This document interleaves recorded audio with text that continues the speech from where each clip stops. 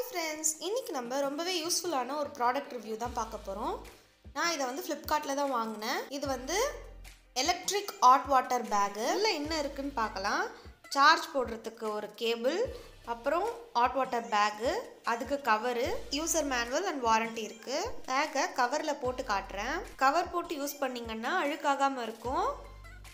கவரை வந்து நீங்கள் வாஷ் பண்ணிக்கலாம். கவர் போட்டுட்டே சார்ஜ் பண்ணாதீங்க. சார்ஜ் ஏறுறதுக்கு வந்து ஒரு எயிட் டு டென் மினிட்ஸ் ஆகுது. டூ ஹவர்ஸ் வரைக்கும் நல்லா சூடாக இருக்குது வீட்டில் வயசானவங்க இருந்தாங்கன்னா அவங்களுக்கு ரொம்பவே யூஸ்ஃபுல்லாக இருக்கும். நைட் டைமில் எழுந்து சுடு தண்ணிலாம் வைக்கிறதுக்கு கஷ்டமாக இருக்கும்.